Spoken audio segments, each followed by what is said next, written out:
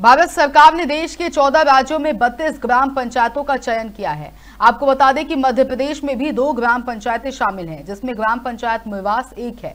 इस योजना के तहत भारत सरकार गाँवों को तकनीकी रूप से कैसे विकसित किया जाए, इस पर काम कर रही है, ताकि दो तक भारत की ग्राम पंचायतों को शहरी क्षेत्रों की तर्ज पर पूरी तरह से विकसित किया जा सके। और इसी सिलसिले में school of planning and architecture Bhopal से एक प्रतिनिधिमंडल ने ग्राम पंचायत मोहवास का दौरा किया। और इन्हीं के साथ पंचायत राज संचालय भोपाल से आए हुए। आयुक्त सुदीप जैन ने अपने विचार रखते हुए कहा कि ग्राम पंचायतों को अपनी स्वयं की आय बढ़ाने के लिए हर हाल में ग्रामीणों से टैक्स वसूल करना ही होगा। अन्यथा बिना टैक्स के ग्राम पंचायतों का विकास संभव नहीं है। लटेवी से शफीक खान की रिपोर्ट। नहीं, अभी तो हम मैम के साथ में अपने गाँव पे जो मैम निरीक्षण कर रही हैं उस विषय में हम उनके साथ हैं। बाकी मैं पूर्व में जिला पंचायत सदस्य रहा हूँ और विगत तीन चार वर्षों से ये प्रोजेक्ट चल रहा है।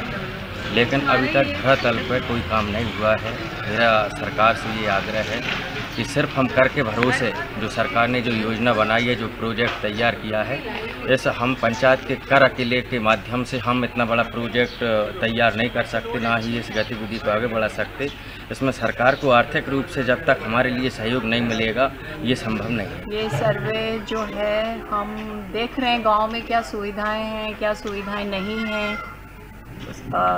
उसका सर्वे हम कर रहे हैं क्योंकि गाँव का जो है मिनिस्ट्री ऑफ़ पंचायती राज जो पंचायती राज मंत्रालय है केंद्रीय सरकार का, उन्होंने कुछ गाँव के, चौंतीस गाँव के पूरे भारत में उनका स्पेशल प्लानिंग मतलब ज़मीन में कौन सी चीज़ कहाँ कहाँ पे आएगी, किस तरह से आगे 20 साल का विकास होना चाहिए गाँव का उसका वो पायलट प्रोजेक्ट कर रहे हैं। जनता को ये फ़ायदा होगा कि उन्हें सुविधाएँ पता मिलेंगी इससे। और हम ये बताएँगे कि गाँव का किस तरह से हम अच्छी तरह से विकास कर सकते हैं। ऐसे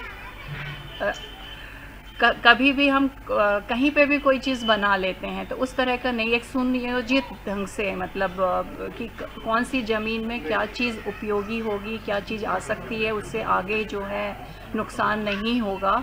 आसपास के लोगों को। उस तरह का हम जो है साइंटिफिक स्टडी करके और लोगों से पूछताछ करके कि किस ज़मीन में क्या चीज़ उनको चाहिए उप, अच्छी लगेगी उस मतलब रहेगी उस ज़मीन में। अपनी पंचायत को स्पेशल डिप्लीमेंट तहत इस पंचायत को चुनी गई है कि इसमें अच्छे से अच्छा विकास हो सके अच्छी सड़कें बने अच्छे स्कूल बने वाटर लेवल के लिए तालाब चेक डैम्स यही सुविधाओं की सुविधाओं के लिए मैं भोपाल से आई हूँ पंचायत संचालय से।